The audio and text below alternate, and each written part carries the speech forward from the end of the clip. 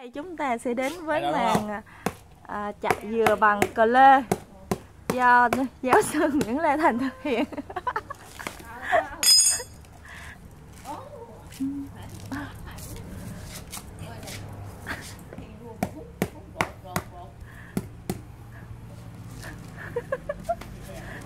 bệnh dễ sợ.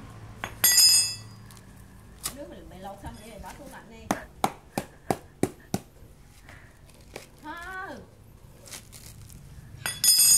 33 giây giờ. Chưa được 1 phần 3 chặng đường. Gõ cọc cọc cọc cọc á. Em thấy dùng búa là nhanh nhất á.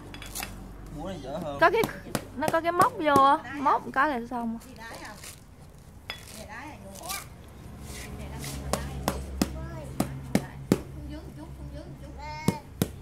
Chị tránh ra để bè gõ chúng á. Coi chừng bể ly với con. Hay là nó thích uống nữa? Từ từ cầm cầm ra ngồi đi. Đây Chúng mình đã có một khách hàng đến mua dừa rồi. Dập tay dập chân hết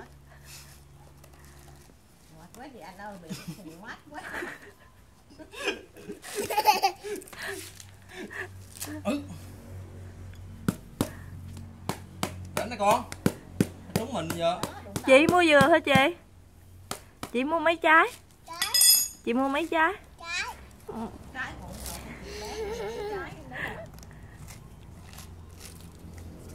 Rồi 1 phút 38 giây là anh thua bên kia rồi. Nãy có 30 mấy 35, 36 rồi Giờ 42, 43 chưa xong.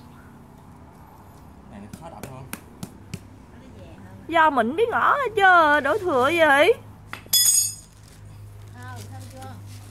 Dừa hư hả? Dừa mày. Ờ.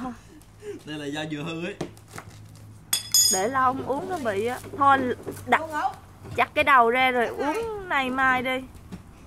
Để nó hư á. Bỏ nữa ôi bỏ hư hết rồi hả? Trời. Trời. Nè cái trái đó nó bị chảy nước kìa